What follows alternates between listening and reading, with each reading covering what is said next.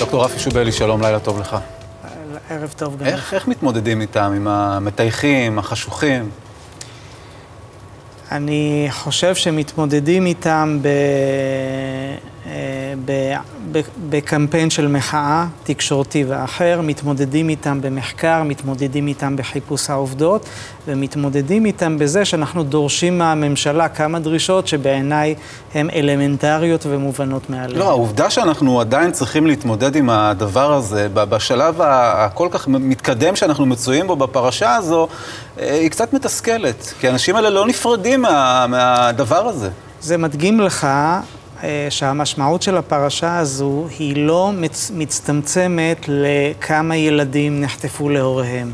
יש לה משמעויות פוליטיות והיסטוריות שהן הרבה יותר רחבות, ומכאן כל המתגוננים למיניהם. הדבר הזה מאיים על הסיפור הבסיסי שלנו כחברה.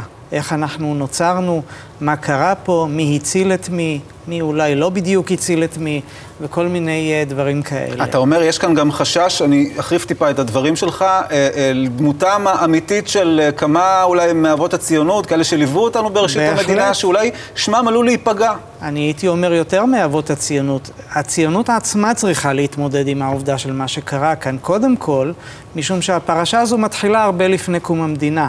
היא מתחילה במפגש עם התנועה הציונית, לא עם מדינת ישראל. מדינת ישראל מצטרפת ומעצימה את התופעה, אבל היא לא יוצרת אותה כמדינה, זה לא נוצר ב-48. כן, רק, רק נאמר בהקשר הזה, כי בשיחה הקודמת אמרת לנו שהאירועים האלה למעשה כבר החלו בשנות ה-20 אפילו. סוף שנות ה-20, למיטב ידיעתי, לכל המאוחר. זאת אומרת, יש כאן...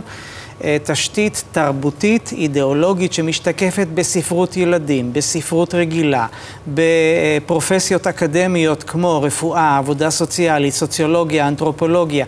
יש את כל ההצדקות וההנמקות המוסריות, כך שאפשר לראות את פרשת ילדי תימן כהצלחה של, הצי... של, mm-hmm. של המהלך הזה, ולא כאיזשהו כישלון. ומכאן אה, אה, כל מנגנוני ההתגוננות האלה. זה לא הגיוני, זה במילים אחרות להגיד אתם הזויים. כלומר, בפוליטיקלי קורקט, בעטיפה יפה, להגיד שהטענות שלנו לא הגיוניות. כן, שוב, זה אותן ספקות ואותן שאלות שכאילו עולות באותם דיונים, אני, אה, כפי שציינתי קודם. אני חושב שמה שלא הגיוני זה...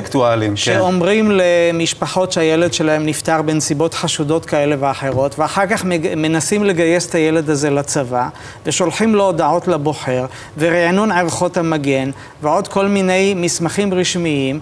זה, מישהו, שמישהו יגיד לי מה הגיוני פה. או ילד שאני מכיר באופן אישי את המשפחה ואת המקרה, שיש לו ארבע תאריכי פטירה ולא כולם באותה שנה. אני רוצה לדעת אם ירון לונדון היה מוכן לקבל תשובה מהסוג הזה, אם לא היה מדובר בבן שלו או באח שלו. אז הנה, הדברים, ואנחנו נמשיך ללוות. תודה רבה לך, דוקטור רפי שובלי. תודה לך.